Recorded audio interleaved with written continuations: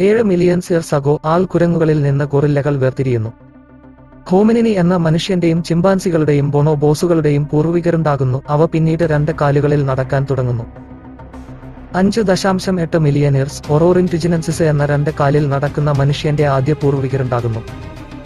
അഞ്ച് ദശാംശം അഞ്ച് ഇയർസ് കാട്ടിൽ വസിക്കുന്ന മനുഷ്യന്റെ മറ്റൊരു പൂർവികർ അതിവിത്തിക്കസ് രൂപമെടുക്കുന്നു. ചിമ്പാൻസികളുടെയും ഗൊറില്ലകളുടെയും മറ്റൊരു വകഭേദം.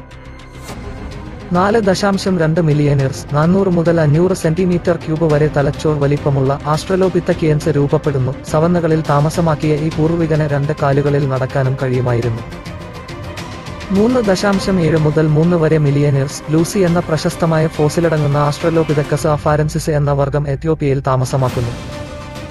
രണ്ട് ദശാംശം മൂന്ന് മില്ലിയനേഴ്സ് ഹോമോ ഹാബിലിസ് വംശം ഉടലെടുക്കുന്നു. അറുന്നൂറ് സെന്റിമീറ്റർ ക്യൂബ് വരെ തലച്ചോർ വലിപ്പം കല്ല് കൊണ്ടുള്ള ആയുധം ഉപയോഗിക്കാൻ പഠിക്കുന്നു. ചില ഹോമോ ഹാബിലിസുകൾ മാംസാഹാരം ഭക്ഷിച്ചു തുടങ്ങുന്നു.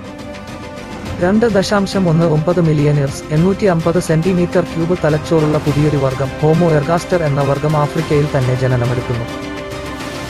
ഒന്ന് ദശാംശം എട്ട് മുതൽ ഒന്ന് ദശാംശം അഞ്ച് വരെ മില്ലിയനേഴ്സ് ഏഷ്യയിൽ ഹോമോ ഇറക്ടസ് രൂപമെടുക്കുന്നു. ആയിരം സെന്റിമീറ്റർ ക്യൂബ് തലച്ചോർ വലിപ്പമുള്ള ഇവർ ആഫ്രിക്കയിൽ നിന്ന് പുറപ്പെട്ടു പോയ ആദ്യ വർഗമാണ് വേട്ടയാടിയും ഭക്ഷണം സ്വരുക്കൂട്ടിയും ജീവിച്ച ആദ്യ മനുഷ്യവർഗമാണ് ഇവർ. ഒന്ന് ദശാംശം ആറ് മില്ലിയനേഴ്സ് തീയുടെ ആദ്യ ഉപയോഗം കൂടുതൽ മെച്ചപ്പെട്ട ശിലായുധങ്ങൾ. ഒരു ലക്ഷം വർഷങ്ങൾ മുൻപ് വരെ ഈ ആയുധങ്ങൾ ഉപയോഗിക്കപ്പെട്ടു പോന്നു. ആറ് ലക്ഷം ഇർസ് ആഫ്രിക്കയിലും യൂറോപ്പിലും ആധുനിക മനുഷ്യന്റെ അത്രയും ബുദ്ധിശക്തിയും തലച്ചോർ വലിപ്പവുമുള്ള ഹോമോ ബെർജൻസിസ് രൂപപ്പെടുന്നു. അഞ്ച് ലക്ഷം ഇർസ് ജപ്പാനിലും മറ്റും ആദ്യകാല പുൽക്കുടലുകൾ രൂപപ്പെടുന്നു. നാല് ലക്ഷം ഇർസ് മനുഷ്യൻ കുന്തങ്ങൾ ഉപയോഗിച്ച് വേട്ടയാടാൻ പഠിക്കുന്നു.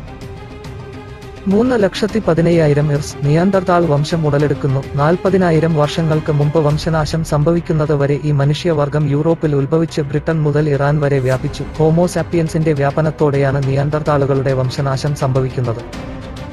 രണ്ട് ലക്ഷത്തി എൺപതിനായിരം ഇർസ് ആദ്യത്തെ വികാസം പ്രാപിച്ച മൂർച്ചയേറിയ ശിലാബ്ലേഡുകളും മൂർച്ചപ്പെടുത്താനുള്ള അരകല്ലുകളും കണ്ടുപിടിക്കുന്നു. ഒരു ലക്ഷത്തി തൊണ്ണൂറ്റി അയ്യായിരം മുതൽ ഒരു ലക്ഷത്തി അറുപതിനായിരം എർസ് ആധുനിക മനുഷ്യൻ ഹോമോസാപ്പിയൻസ് ഉടലെടുക്കുന്നു. ഏഷ്യയും യൂറോപ്പും മുതലായ വൻകരകളിൽ ഇവർ വ്യാപിക്കുന്നു. ആയിരത്തി മുന്നൂറ്റി അമ്പത് സെന്റിമീറ്റർ ക്യൂബ് വലിപ്പമുള്ള തലച്ചോർ. ഒരു ലക്ഷത്തി അമ്പതിനായിരം ഇയർസ് ചിഹ്നങ്ങൾ ആംഗ്യഭാഷ മുതലായവ മനുഷ്യനിൽ ഉടലെടുക്കുന്നു. സംസാരശേഷി വികസിച്ചു വരുന്നു. ഒരു ലക്ഷത്തി പതിനായിരം ഇയർസ് മാലകളും അലങ്കാര വസ്തുക്കളും ഉണ്ടാക്കി തുടങ്ങുന്നു. ആദ്യകാല ആഭരണങ്ങൾ ഒട്ടകപക്ഷിയുടെ മുട്ടത്തോട് ഉപയോഗിച്ചാണ് ഉണ്ടാക്കുന്നത്.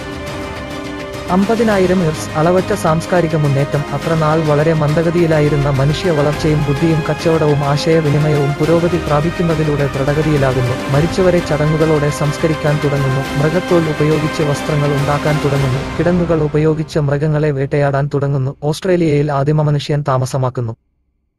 മൂന്ന് ലക്ഷത്തി മുപ്പതിനായിരം എർസ് ആദ്യത്തെ ഗുഹാചിത്രങ്ങൾ ഹോമോസാപ്പിയൻസ് വ്യാപിക്കും തോറും ഹോമോ ഇറക്ടസ് തുടച്ച് നീക്കപ്പെടുന്നു.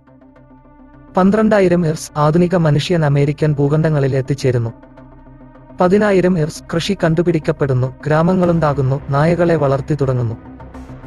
അയ്യായിരത്തി അഞ്ഞൂറ് ഇർസ് ശിലായുഗം അവസാനിക്കുകയും വെങ്കലയുഗം ആരംഭിക്കുകയും ചെയ്യുന്നു മനുഷ്യൻ ചെമ്പും തിന്നും ഉരുക്കി പ്രവർത്തിക്കാൻ തുടങ്ങുന്നു കൂടാതെ കല്ലുപകരണങ്ങൾക്ക് പകരം ഈ ഉപകരണങ്ങൾ ഉപയോഗിച്ച് തുടങ്ങുകയും ചെയ്യുന്നു. അയ്യായിരം ഇർസ് അറിയപ്പെടുന്ന ആദ്യകാല എഴുത്ത്. നാലായിരത്തി അഞ്ഞൂറ് മുതൽ മൂവായിരത്തി അഞ്ഞൂറ് ബി സി മെസപ്പൊട്ടേമിയയിലെ സുമേറിയക്കാർ ലോകത്തിലെ ആദ്യത്തെ നാഗരികത വികസിപ്പിച്ചെടുക്കുന്നു. മനുഷ്യ ചരിത്രം നാമെന്നറിയപ്പെടുന്ന രീതിയിലേക്ക് വികാസം പ്രാപിക്കുന്നു.